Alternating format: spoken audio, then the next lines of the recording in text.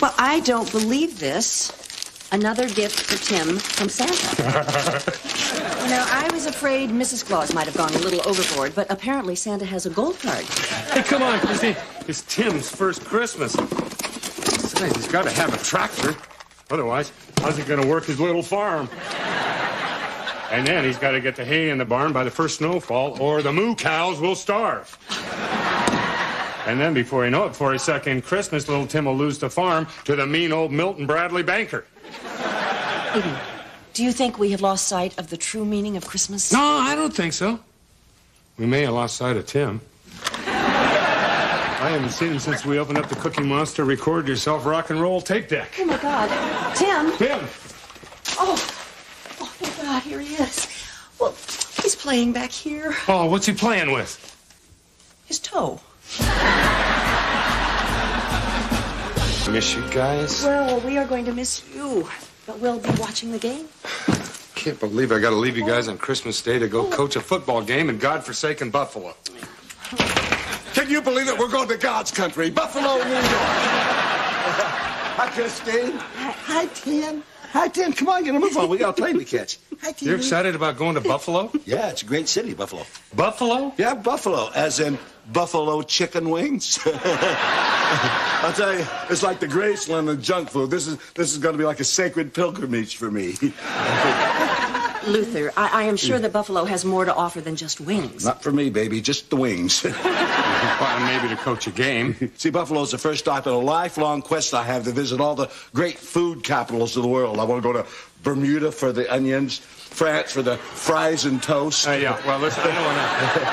I don't want to keep the pilgrim from Mecca, so we'll see you later. Poland for the sausage, Turkey for the, well, turkey. and Sunday I hope to visit all the thousand islands. This is a blizzard alert. Buffalo Airport is now officially closed. Travel in Erie and Niagara counties is now restricted to emergency vehicles only. I've seen snow like this in my life. Main thing is we made it. We're safe. Now you can relax.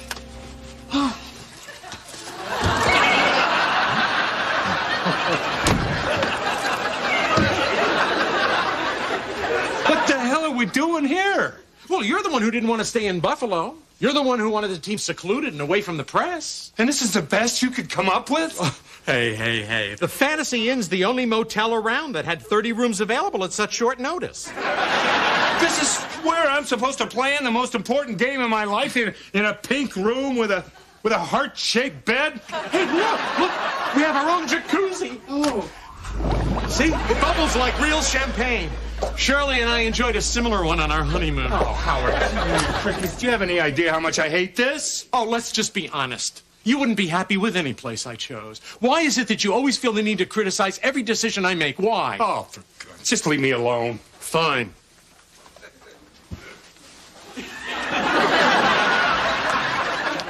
No, I meant leave my room. This is our room.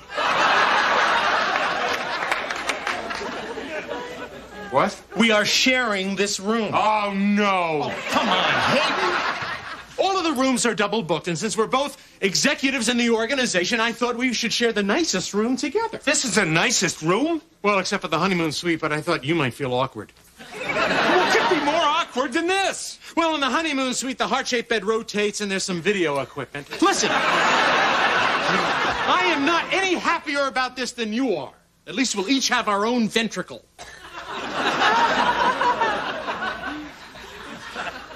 I'm to sleep on a couch. It is a love seat. It is a couch. oh, Boy. Hey, Doran. Wow! Great room! wow! A champagne glass jacuzzi. Now that's class. Can Dauber and I come down and use it? No. Selfish. Hey, we're having a wing ding party in our room. You want to come down? A wingding? I got 40 buckets of Buffalo's finest. You got mild, hot, and are these good or are these chest pains? We're talking hot, boy. I lost most of my nose hair just sniffing them. Hey, a minute, wait a minute. We've only been here five minutes. How the hell did you end up with 40 buckets of chicken wings? I ordered them from the airport. The guy place in Buffalo delivers them by snowmobile. No, I don't want any stupid chicken wings. I don't think anybody else would want any stupid chicken wings either. We're here to be focusing on the game. Oh, come on, Hayden. The guy's been working hard all week. They're going to be working hard the next couple of days. They deserve one night of fun. We are here to play a football game. If we wanted to have fun, then we'd be home spending it with our families. Okay, now, why don't you admit it? That's really what's bothering you. You're grumpy because you can't be with Tim and Christine for Christmas. Well, you're not the only one missing Christmas, mister. There's 60 other guys out there missing their families, too. And the only thing they got to look forward to are my chicken wings. So if you want to take that away from them, you just go ahead and do it, Ebenezer Fox. I don't want any part of your stupid chicken wings. I'd like to be a part of it. And I have my own container of moist moistelettes. Howard, we're having a chicken wing party. We're going to eat chicken wings with our fingers. Then we're going to wipe them all over our shirts. You think you can handle that? Yes. Okay, then you're in. Oh, you'll need your coat. We're across the courtyard in the I Do Annex. Okay. Great! Uh, you gonna be all right here alone, Hayden? Oh, yeah, I got scented candles and bath oil. I got everything I need. Okay, Roomy. Don't stay up.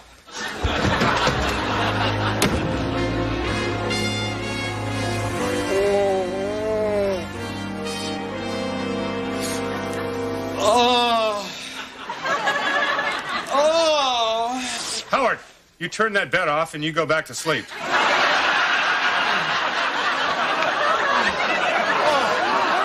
Oh, oh Hayden. Hayden, I'm not feeling so well. What's the matter? I don't know. I feel really feverish. My stomach's doing flip flops. I think I'm going to be sick.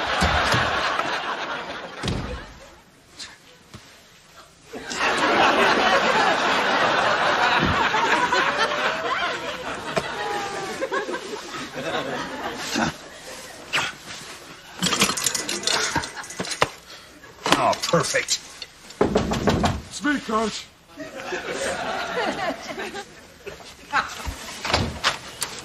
Hey, Dauber. We got a problem. Everyone's getting sick. What? Uh, It's like they're all coming down with some kind of flu or something. How many guys are we talking about, Doc? A lot. I- I, I saw a bunch of lights on on my way over here, and Doc's checking everyone out. Well, how you feeling? Not great. Uh, I'm trying to ignore it, but I'm feeling pretty queasy. Well, that wasn't pretty. I think I threw up a kidney. Excuse me. There you are. Hey, what in the hell is going on? It's 3 a.m. in the morning. The doctor just woke me up to see I was okay, and then I looked on the other side of the heart, and Dauber was gone. What's the matter with him? Well, he's sick, and apparently a lot of other people are getting sick too. How are you feeling? I'm fine. How about you? Yeah, I'm fine too. Hey, what's up, Doc? I always wanted to say that. Doesn't look good. You got over 30 players sick. With what? Food poisoning. Food poisoning? Food poisoning from what? It's probably those chicken wings you gave him. Where'd you get them, Luther? I got them at the wing place. What wing place? Well, come on. I don't think it was the wings. I mean, I ate more than anybody else, and I feel fine. You know, I, th- I think it was airplane food. You think it was roasted cashews and soft drinks? Come on, Luther. The last thing anybody had to eat last night was those stupid wings of yours. Now, where'd you get them? I got them at, uh, at Buffalo Billy's. Buffalo Billy's? Buffalo Billy's. Buffalo Billy's Wing Shack in Buffalo. Did they have any idea of knowing who the wings were for? Yeah.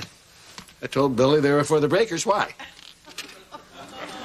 Then maybe Buffalo Billy set us up. What do you mean? Maybe he gave us bad wings on purpose. Oh, What? You are so paranoid. Hey, Luther, you don't think there's a chance that Billy from Buffalo might want to see us lose to his team, the Buffalo Bills?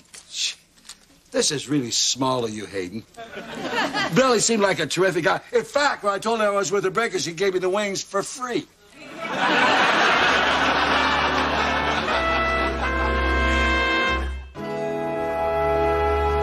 Luther, You're telling me that Buffalo Billy from Buffalo, New York, home of the Buffalo Bills, offers you 40 buckets of free chicken wings, and that didn't trigger something in you? I don't think Billy would deliberately poison people. It's not good for repeat business. Well, maybe he's willing to risk that on the guys that could keep his team out of the Super Bowl. You know what your problem is, Hayden? You always look for the worst in people. I bet you you don't even take those free little sausage samples they hand out in the grocery store. You're so afraid. Ooh, ooh, someone's trying to kill me.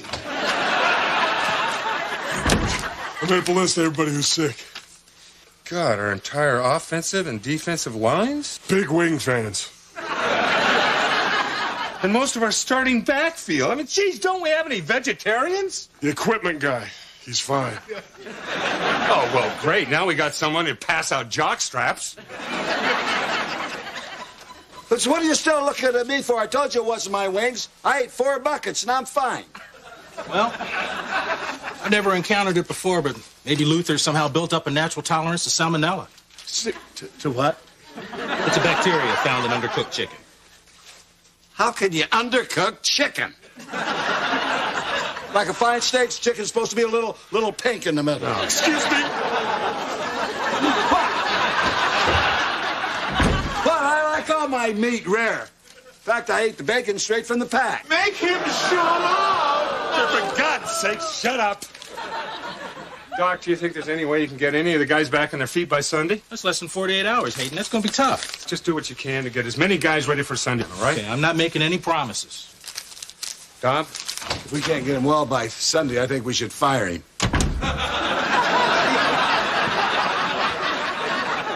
Bob, here's what I want you to do. Get as many guys that have played football around here as you can. Listen, anybody. You know, old NFL guys, college guys, arena football players, Canadian football. Anybody that's played football, can you get them here by Sunday? Oh, I'll get right on it in a minute. What do you want me to do? Nothing? We'll take it from here. You've done just about everything you can. Thank you. Hey, what do you want from me? Even if it was my chicken wings that did it, how, how was that my fault? I didn't cook them. In fact, I thought they were a little overcooked. I'm just trying to get a little team spirit here, some camaraderie, make the team feel like family. Well, you succeeded, Luth. They're all throwing up together. Well, I'm sorry, okay? I'm sorry I screwed up. It was an innocent mistake. Hell, anybody could have made it. No, no, no, uh, no, no, no, no. If Buffalo Billy from Buffalo, New York, offers me, Hayden Fox, coach of the Orlando Breakers, $500 worth of Buffalo wings when I'm about to play the Buffalo Bills, I say, hold it. What's wrong with this picture? Why is Buffalo Billy wanting to give me free food? Maybe he wants to hurt my team. But someone else looks at the same picture and says, "Ooh, free food. So what do you say? I am saying, Luth, if for just one second you thought of the team instead of yourself all the time, maybe you would have questioned Buffalo Billy's motives. But no, you always put yourself first. The team came here to play a football game. You, on the other hand, came here for chicken. How dare you say I put myself before the team? I got enough chicken for everybody, including you. But you didn't want any. And why didn't you want any? Because you don't want to be a part of this team. You're the one separate yourself from everybody else, not me. Hey, I'm the good guy in this picture. Oh, Luther, you are so full of, of chicken. You don't know what you're talking about. You always put yourself first. I don't put myself first. I do not. You're the ones moping around because you can't be with your family at Christmas. At least you have a family. I gave up a family for this team. Oh, how much chicken did you eat? I'm getting the doctor back in here. It's gone to your little pea brain. Oh, no. I'm serious. I could have had a wife, a wife and a family, but I sacrificed. I put the team before myself. Luther, I have known you for 30 years. What woman did you leave behind for the good of the team? No, that's just it. I didn't even get that far. so, no, Hayden, I cannot tell you the name of the woman, but I can tell you the name of, of my children Sam, Sarah, and, and little Hayden Jr. Now, don't, before you get all emotional, they, they don't exist, thanks to you. God, I don't even know how to respond to this. You say you're sorry that you said I put myself before the team when clearly I thought of nothing but the team my entire professional life. You, on the other hand, might want to do a little soul searching tonight. I can't even have this conversation. I, I need some air. Just one little simple, Luther, please forgive me. How hard can it be? You can't do it for me. Do it for my family. It's Christmas.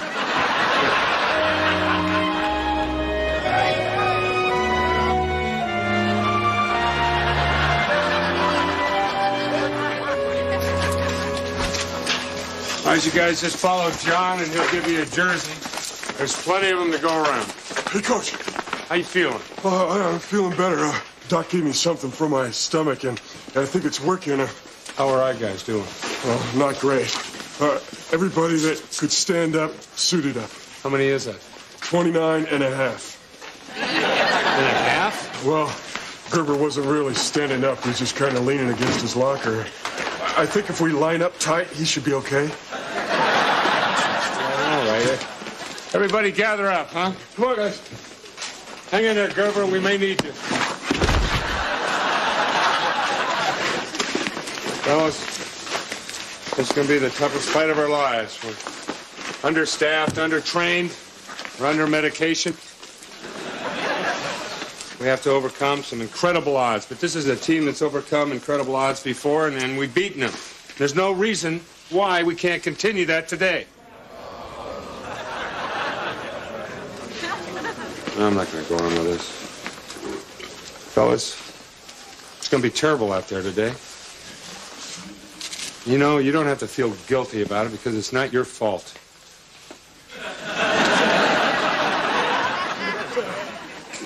I see where this is going. It's time to blame Luther again. But before we do that, let me see a show of hands. How many of you guys, other than Coach Fox, think, thinks it was my wings that got us in this predicament? Okay, fine. That's fine. That's how you feel. I accept the responsibility and I apologize. I'm sorry I poisoned you. But I just want you to know this didn't happen because I don't care about you. It happened because I care about you too much, and, and for that I don't apologize. If indeed I got suckered into accepting bad wings, it's because I choose to see the best in people. Unlike others, I don't go around suspecting everyone else's motives. I don't worry about the sausage in the grocery store. I don't want to be afraid of everything some stranger hands me on a toothpick. I just don't want to live my life that way. And some people may call, call that gullible. I call it having faith. That's something I'm just not willing to give up. And I'll tell you something else I'm not willing to give up. I'm not, I'm not willing to give up my faith in this team. It takes a special kind of guy to put on a jersey and go out there when he's feeling sick or he hasn't played football in a long time. Takes a guy, a guy with courage, a guy with heart, a guy that puts the team before himself. My kind of guy. I'm telling you, Buffalo doesn't know what they're in for. I may be gullible, but I think we got them right where we want them. We may not be able to keep those chicken wings down, but those chicken wings aren't going to keep us down. Come on, let's go. What do you say? Yeah. Follow me. Follow me.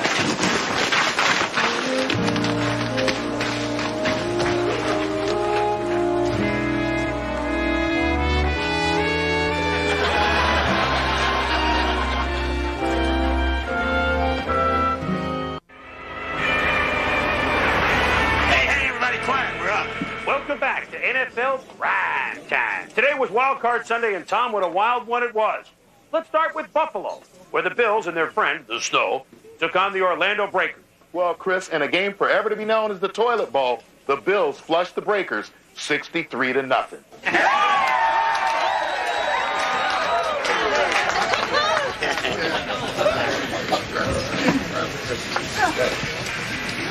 Excuse me, sir. Could you tell me where I can find Buffalo Billy? I'm Buffalo Bill. Hi, hi, Billy. I'm uh, Luther Van Dam, assistant coach with the Orlando Breakers. I'm the one you gave the wings to. Yeah? Uh, as you probably know, the whole team got food poisoning. and we lost the game because of it. Yeah, so? And I just need to know for my own peace of mind, did, did you, Buffalo Billy, intentionally give me bad wings? No. See? Now that's what I told him. That's what I told him. but my faith in mankind is restored. Thanks a lot, Billy. I appreciate it. Uh, no problem. This is really a relief. I was beginning to think that I was gullible. By the way, Billy, I love your wings. Oh, thanks, Bill. We try to put out a good product. Well, you sure do. Uh, by, by the way, uh, good luck with Pittsburgh next week. Thanks. Yeah. Uh, say, uh, you wouldn't happen to know any of the uh, coaches on Pittsburgh's team, would you? Yeah, I know some of them. Well, uh, tell them to come by. Sure, I can do that. Will you give him the same deal you gave me? Exactly the same deal.